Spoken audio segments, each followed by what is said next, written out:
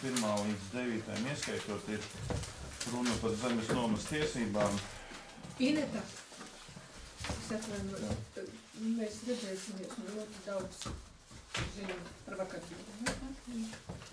Runa par zemes nomas tiesībām, gan ā, lauzt līgumus, gan slēgt jaunus, gan precizēt esošos un uh, pagarināt nomas termiņu. Es nezinu, vai ir vērts lasīt katru jautājumu tur atsevišķi, pēc būtības visi ir vienādi.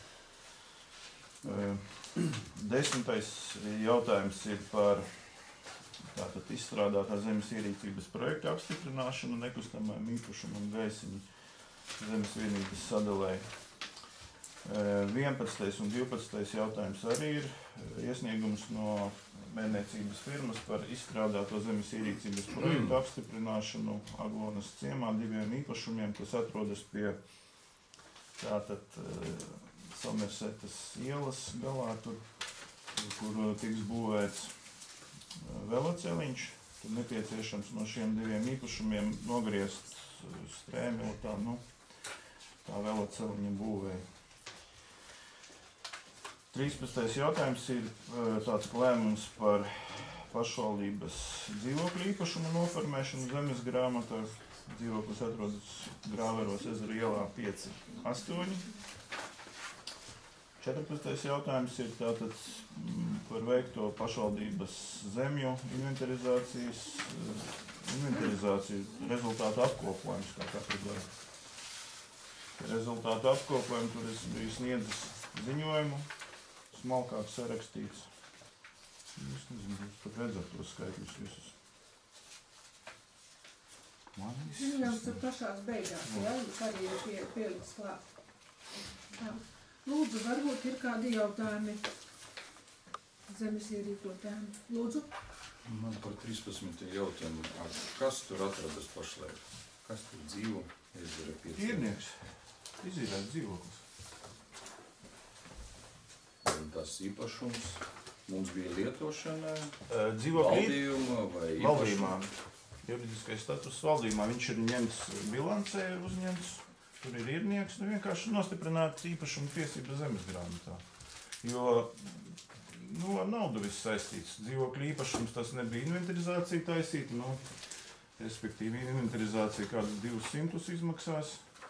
Nu, noreģistrēt zemes grāmatā. Nekas tur sarežģīts nav. Vienkārši dzīvokļu īpašumiem eh, tie reģistrācijas, ja tie ir pašvaldības īpašumi, zemes grāmata, preļu zemes grāmata, prasa lūk šādu lēmumu. Tāds, kas tur ir attēlots, reģistrēt. Nu, lūdzu, es grāmatu vēl jautājumi? Varam virzīt uz sēdi? Varam balsot? Kas par to lūdzu balsojam par virzīšanu uz sēdi? Pret, atturas, atturas, kad man. Nākošais, nākošais jautājums par zivju nozveju. Pirmais iesniegums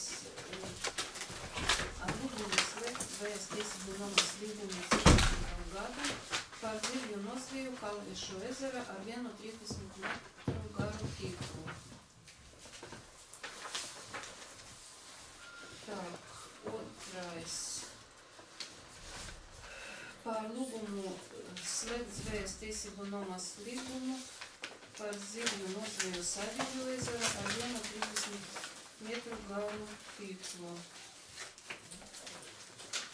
Trešais eh, iesniegums par lūgumu slēgt zvējas tiesību nomas līgumu 16. gadam par zivju nozveju Kalvišu ezera ar vienu 30 metru garu tīklu.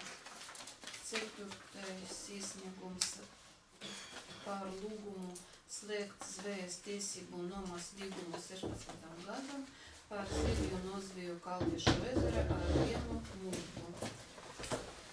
Piektais iesniegums, tur ir kļūda, ja? Man ka tikai ar vienu mūrdu, bet nu, cilvēku iesnieguma bija viena tad tagad viņš prasa nomainīt uz vienu 30 metru garu tiklu Ilzas ezera. Lūdzu deputātiem izlabot.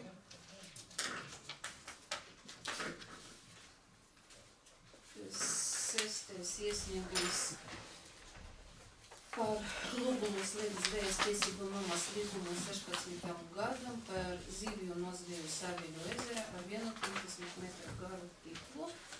Septītais iesniegums par lūgumu slēgt zvejas tiesību nomas līgumu 16. gadam par zivju nozviju Jazinkas ezera ar 1,30 metru garu tīklu. Astotais iesniegums par lūgumu slēgt zvējas tiesības nomas līgumu 16. gadam par zivju nozviju Jazinkas ezera ar 1,30 metru garu tīklu.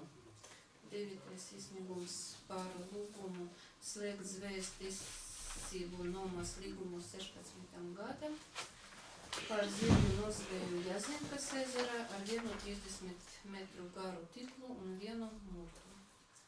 Desmitais iesniegums par lūgumu slēgt zvejas tiesību nomas līgumu 16. gadam par zivju nozviju Saviļu ezerā ar 1,30 metru garu iesniegumi. Tā, lūdzu, kādi jautājumi? Varam virzīt uz sēdi, varam balsot. Kas par to lūdzu balsojam par?